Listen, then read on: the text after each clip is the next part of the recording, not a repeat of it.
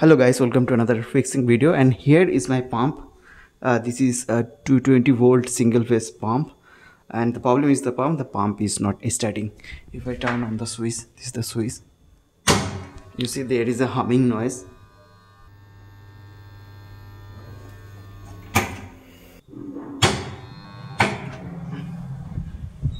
A humming noise is coming from the motor and the motor is not starting so guys if your pump is not starting then you guys can have two or three problems. First is the rotor and the rotor of this motor is jam that's the reason the pump is not starting.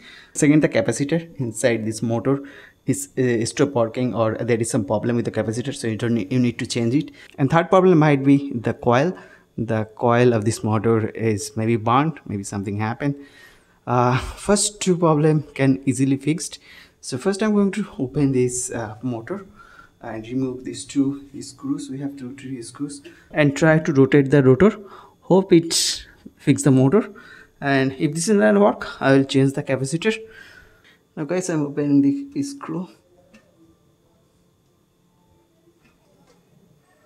So i opened one screw. I think we have another uh, two three screw.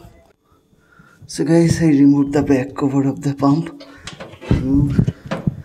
and this rotor is so tight that it's creating noise. I'm struggling to moving this rotor. It's become so tight. So i try to lose it up see what happened i try to move it. Probably need to put some oil to lose it up. Okay guys so it's so tight.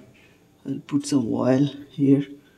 Couple of drop oil and rotate the rotate this until it's become loose.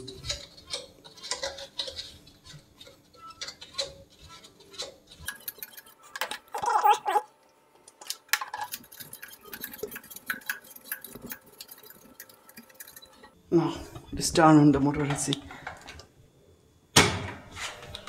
as you see guys the motor is, is still not rotating so i think there is a problem with the capacitor.